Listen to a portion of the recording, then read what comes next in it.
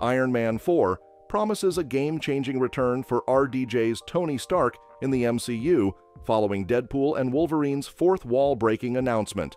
Marvel's What If Season 2 sets the stage for Iron Man's comeback, exploring multiversal variants without compromising his legacy.